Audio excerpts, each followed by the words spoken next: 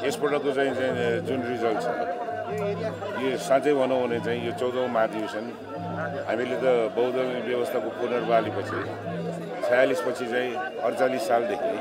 यो चाहिँ आठौँ नवौँ दसौँ एघारौँमा पार्टी भयो दुईवटा फरक फरक पार्टीको र चाहिँ बाह्रौँ र तेह्रौँ महाधिवेशन हामीले अनुभव गरेका छौँ तर यसपटक चाहिँ यो नेतृत्वको असक्षमता नेतृत्वको असफलता